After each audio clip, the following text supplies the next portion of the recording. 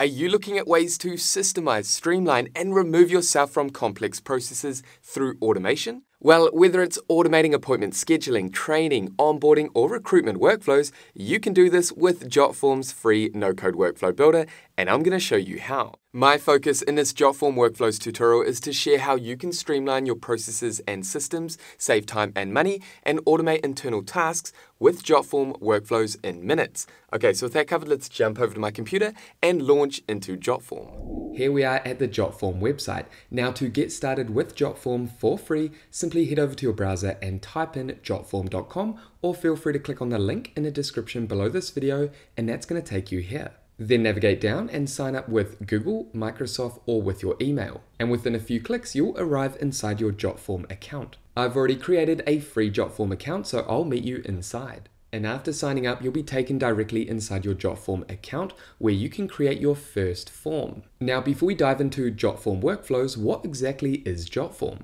In essence, Jotform is a powerful no-code form building platform with over 25 million users and designed for all types and sizes of businesses looking to streamline and automate any process. This is through dynamic forms and workflows. Jotform, in my opinion, offers one of, if not the easiest visual drag and drop form builder and workflow building experience. Now, just quickly, I want to say a big thank you to Jotform for partnering with us on this channel and sponsoring this video. Jotform is a market leader when it comes to building simple no-code forms and workflows. Again, a big thank you to Jotform for sponsoring this video and supporting us in creating high quality educational content for our audience to consume for free. Now, before we launch into Jotform workflows, you can see down here we can create a form from scratch or we can use one of these pre-made templates. For example, let's navigate down here and quickly take a look at the visual form builder. Here you can see this form template that we selected. If we navigate over to add element, we can simply drag and drop any of these fields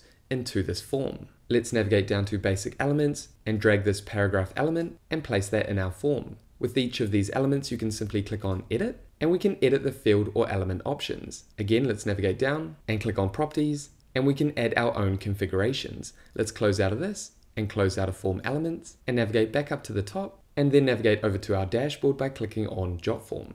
And as you can see, we have one form over here. Navigate over to My Forms and then click on My Workflows. And this is where we can create our first workflow. Again, just quickly before I show you how to create your own Jotform workflows, what exactly are Jotform workflows? Well, formerly known as the Jotform approval process, this feature has evolved into a full suite workflow builder for streamlining all your unique digital processes. Anyone can now simply build out no-code workflows in minutes with Jotform's intuitive and visual drag and drop builder. Think about any current process that you have in your business. Most likely you can optimize and systemize that process and significantly save time, energy, and money. Okay, so now that we're familiar with what Jotform workflows are, let's dive into the templates and see what processes we can streamline with Jotform workflows. Simply navigate over to Create Workflow and let's take a look at templates. Here we can filter through the different categories on the left hand side and preview the different workflow templates. Again, think about the different systems that you want to streamline in your business. Is it client onboarding, your lead qualification process,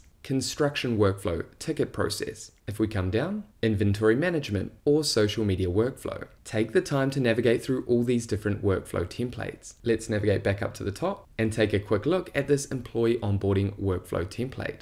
Click here. Here we can preview the workflow and zoom into the different process stages. If we navigate up to the top, you can see the starting point is this form here. Let's preview the form and this is the new employee onboarding form that we can preview. Again, we have complete control over the form customizations as well as the workflow. Let's go ahead and click on use template.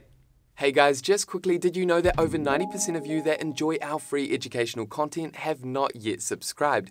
It would mean a lot to me if you drop a comment or hit subscribe if you love what I'm creating. This helps us grow the channel and motivates me to create bigger and more impactful tutorials for you to consume for free. Okay, so with that happy note, thank you in advance, and let's get back to the video. Let's have a look at some of the different elements that make up this workflow. Again, we have the starting point up here. This is the new employee onboarding form. To preview the form, simply click on View Form, and that will take you to this form element. Let's navigate back.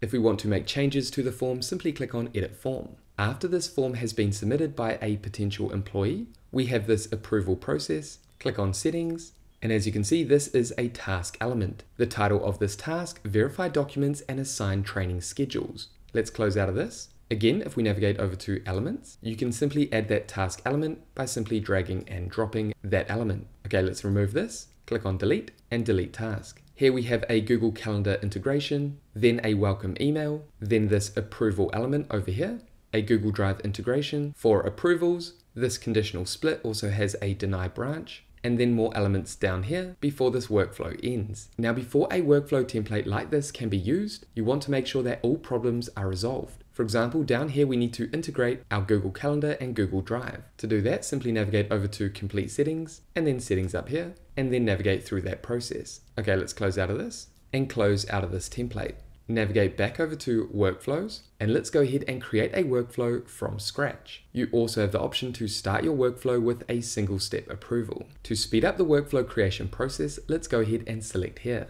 And here we are inside our fresh new workflow. Let's navigate over to settings, come down and name this workflow. For me, I'm going to create a new customer project workflow. However, you can add any workflow title based on the type of workflow that you want to create. Then navigate back over to build. Now, as I mentioned on the left hand side, we have access to workflow elements as well as workflow integrations. Here we can integrate our favorite third party apps and we'll talk more about this soon. Navigate back over to basic and let's start our workflow by adding a form. Click on complete settings. Here we can search for and choose a form we've already created or create a new one. And again, I'm going to use this new customer registration form and click on use template. Now in terms of form and workflow branding, I want to add my logo and business name in here. Let's quickly do that. Then once you've added your logo and business name, come down and click on don't show this again and then save. Then simply customize your form. I'm going to change this, new website and branding project form. For the subtitle, add your website and branding details to begin your journey with us. For this particular new project workflow, I want to create a seamless process for capturing payments, onboarding clients, and starting projects. And this is for my web design and media agency called Syndio Media. Then simply navigate down to your form and start customizing this form. You can do that by clicking on the different elements like I showed you earlier, and you can also add elements from the left hand side. Now because your form and process workflow is going to be different to mine, I'm going to quickly navigate through the process of customizing this form. So take your time to build out your form and then we'll continue building our workflow. Okay, so I've quickly gone ahead and created my new website and branding project form.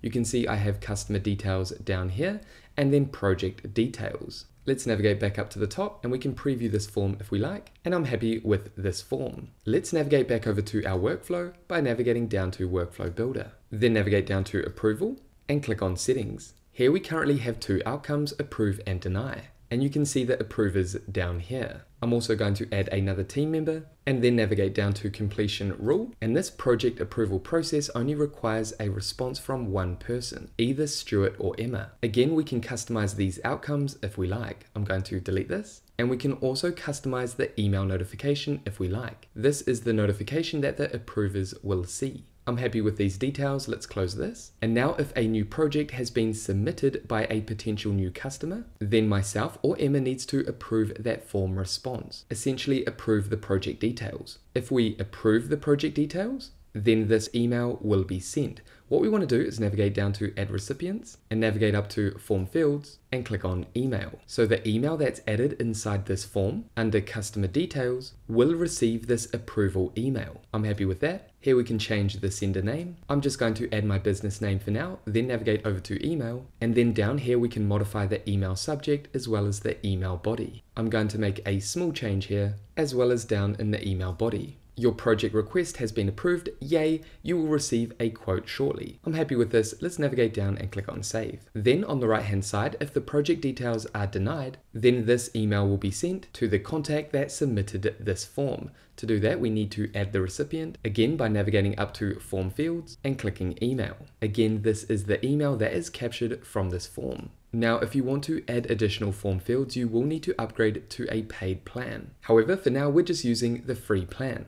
If you like, you can test email. We're going to go ahead and click on save. Now let's continue building our workflow. I'm going to navigate up to add element and add this task element. I'm going to move this over here and let's move this element end down here and redirect this workflow by clicking here and clicking delete, then delete this link and drag a link from this email to this task element. The great thing about Jotform workflows is you can play around with the different placements based on what visually works for you. Let's click on task settings and add a task for my team. Send a quote, then add a task description. Please send an accurate quote based on the project details added by the potential client. Let's navigate down to outcomes. I'm going to add another outcome and I'm going to add in progress and change complete to quote sent. I'm going to assign this task to Emma. I can assign this task to a team member, but for the purpose of today's tutorial, I'm going to assign the task to myself. Then we can navigate down to customize. And again, similar to the form builder, we can customize this response form. At the moment, the task assignee can simply navigate down here and choose the response and then click on submit. If we like, we can add additional fields to this form.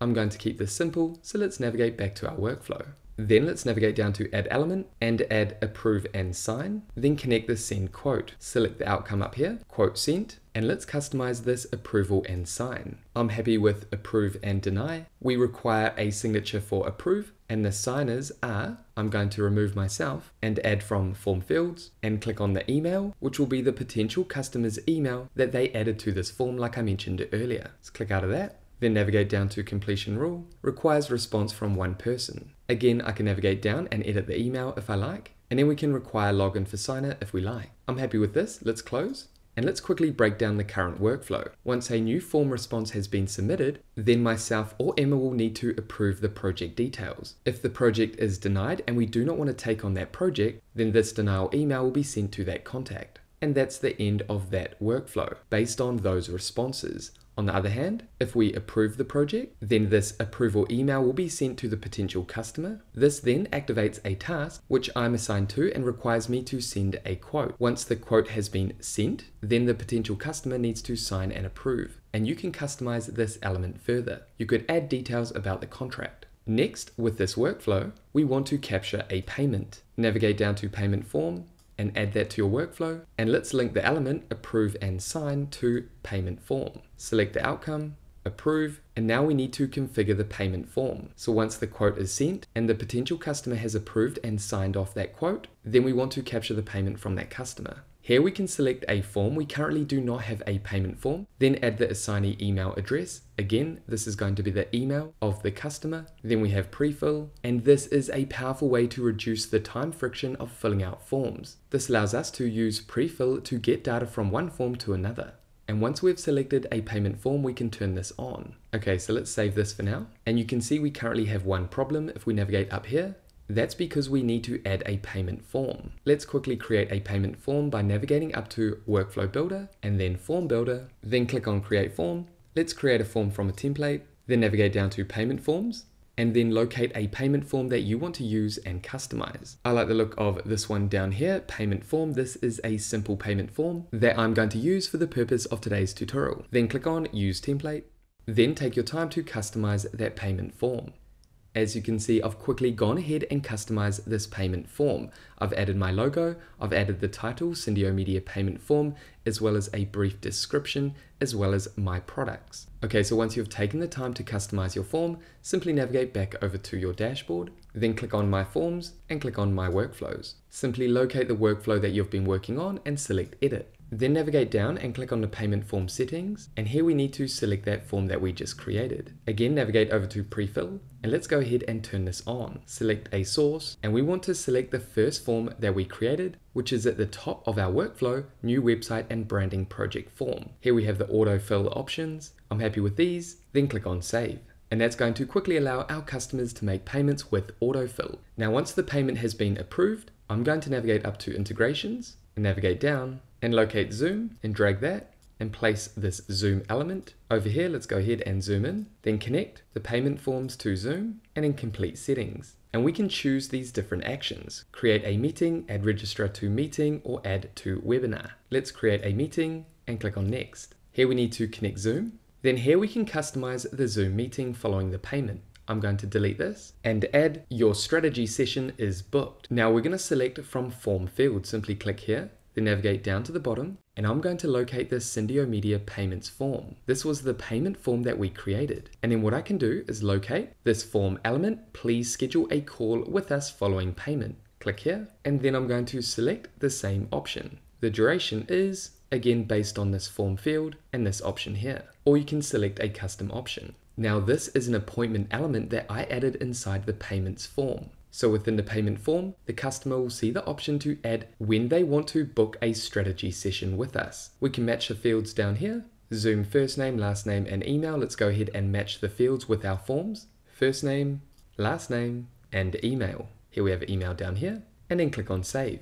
And just like that, our workflow is complete. Let's navigate down the page and then drag a link from Zoom to end. And that's the end of our workflow. Again, you can drag these different elements to make your workflow look nicer if you like. For example, I'm happy with that. I'm going to drag end and place that here. So this is our entire workflow that we just created. Once a new project has been submitted, our internal team will approve if we want to engage in that project. Once approved, the potential client will get an email, then an internal task will be added, a team member is responsible for sending a quote. Once the quote has been sent, then we have this approve and sign element. This is for the customer to approve the quote. Then automatically once the customer approves and signs, this payment form will be sent to the customer. They will then make the payment and add their appointment details for a strategy Zoom session. And that's the end of this workflow. Now, if we navigate over to integrations, there's all these other integrations we can add. For example, if you use Asana or Airtable for project management, you can add that integration inside your workflow and add this as a new task or project inside your third-party project and work management app. Again, we have Airtable, Asana, ClickUp down here, and other options. If you use a CRM like HubSpot, Monday.com, or a communication tool like Slack, you can easily integrate these third-party tools inside your workflows. You can easily create simple or advanced workflows in minutes using this intuitive workflow builder and the different basic elements as well as integrations you can find on the left hand side. Okay, let's go ahead and delete this, confirm, and now let's preview a response. I'm going to quickly fill out this form and test this workflow. I'm going to quickly fill out this form. Just like that, I submitted a form response. Let's head back to our workflow then navigate up to Workflow Builder and click on Tables, and you'll see that response under Tables. Here we can click on that response, and that's going to bring up a macro view of the response details. And you can see there is an action required. If I navigate down here, you can see we have this approval step. Please review this submission, and I can come down and click on Approve. Also, if I navigate up to Tables and then click on Inbox, Inside of Inbox, we can also preview responses and engage in the assigned action. I'm going to navigate down here and click on Approve. And remember, I was assigned to the task as part of this workflow. So now I need to view this task. Please send an accurate quote based on the project details added by the client. Once I've sent a quote to the client, I can navigate down here and submit. Let's click on View Your Completed Task. And if I navigate down here, I can see this task has been completed, and this is essentially an activity log for this particular response. Now I'm waiting for the approval and sign step, which is to approve the quote, and then that will take us to the next stage in our workflow. Okay, let's navigate back up to Inbox and navigate back down to Workflow Builder. And there we have it. That is how you can simply build workflows to streamline your different processes inside your business. From my point of view, Jotform Workflows is ideal for most small and medium businesses. It's free to get started with, and as your business grows, their premium plans are affordable. The visual drag and drop form and workflow builder is incredible and easy to use for anyone in your team. Like I showed you, no code is required and you can set up your workflow stages in just a few clicks. I do believe Jotform needs to add more integrations. Their third-party integrations are relatively limited and the options within those connections are limited. However, for the majority of workflows, this process is seamless and the integrations and basic elements are sufficient enough. And there we have it, guys. That is it for this brief Jotform workflows tutorial. Now, if you have any questions about Jotform, make sure to pop them down below. And with that said, thank you so much for watching this video all the way through to the end. If you got value, make sure you leave a like and subscribe to this channel. And that way, I'll see you in the next video. Take care, everyone.